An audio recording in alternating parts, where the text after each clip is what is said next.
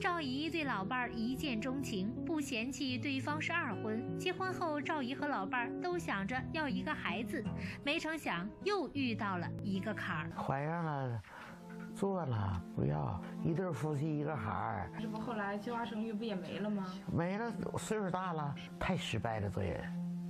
我这不就失败吗？到这样了。出去一个人，回来还是一个人。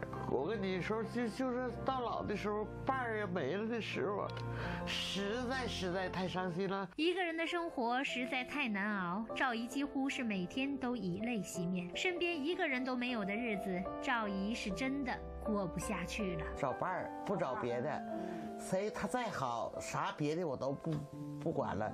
我眼缘一看对症了，我就干；不对症了，对不起。还挺干脆的。你不怕伤人面啊？伤啥面啊？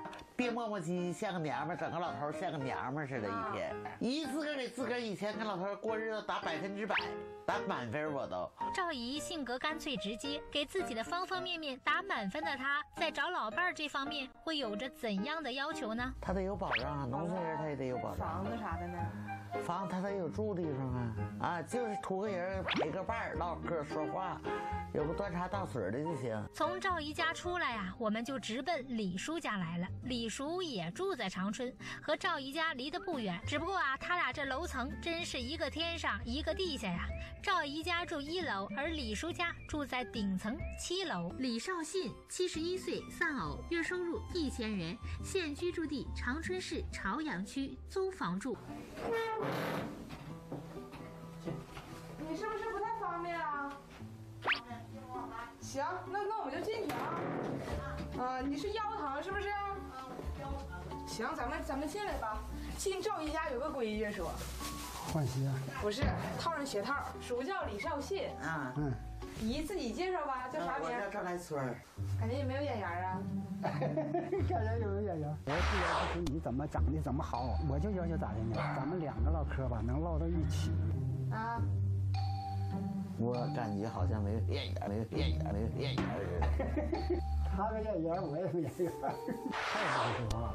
当面就给给给来个下下不来台。两人刚一见面，赵姨就说没眼缘，而且啊，姨这性格确实够直接啊，话一出口就引来了李叔的不满。那赵姨为啥会对李叔没眼缘呢？姨为啥没有眼缘啊？感觉个太小，个太小，个太小。妈呀，真小！你们家老头个大。那个给我们家老头拿来给他看看。话音刚落地呀，赵姨起身就去拿相册。看来啊，姨是非得给李叔看看照片不可了。你看，这是我们家老头，这是我原来的我们家。那上哪去？你看这玩意儿上哪看？这玩意儿能看出来啥呀？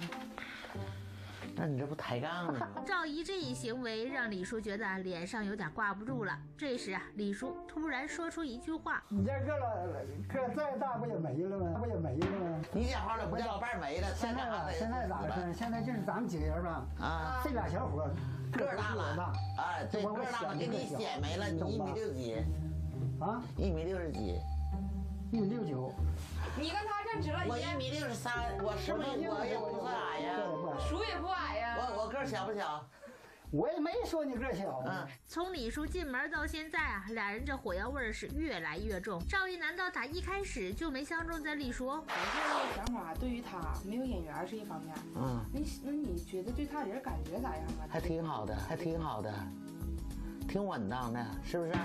那你为啥跟他那么唠嗑？实还是唠嘛，不会相处。人人都说我找不着对象，不会相处。我说赵姨呀，我们也看出来了，你确实不会和男生相处。既然赵姨还想和李叔继续了解下去，等会儿两个人在唠嗑交流的时候啊，咱可不能再说话这么冲。